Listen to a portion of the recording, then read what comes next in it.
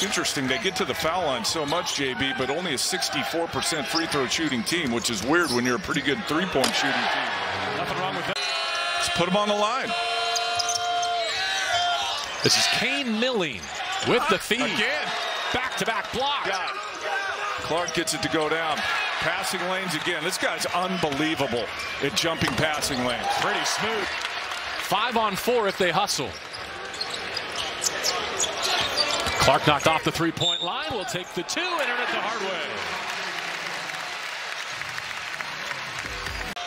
He's going to have to add more to that game. He could be that guy if he was 7-1. Can't teach that, Don. No.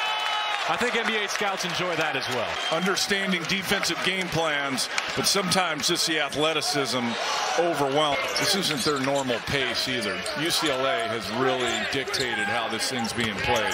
A wicked crossover from Campbell, able to get his jumper up and in.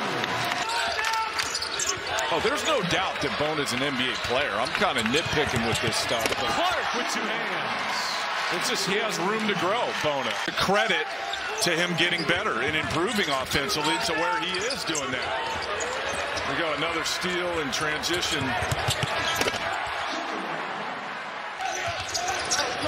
You do? No. Just nodding in agreement with you. Bona, uncontested.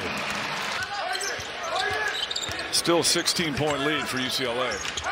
Bona looking to go high-low, puts his back to the basket. Shot fake.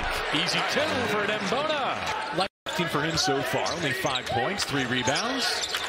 Wants to set up Bona. And different that time. Made it. Look at Bona switch on to Beasley. Oh, no chance. Got the switch and trailed the play, but his recovery. Not a lot of guys can do what he just did. Bailey. There he got it. Not a lot of guys in this league can recover to get that and get it easily, by the way. Campbell chopping up the Aggies. And a three-point opportunity. He has to take a turnover with it, unfortunately. DeBruhl, that's definitely a steal. Campbell rolls it up and in. Pepper lost the handle, found Henry, but a block.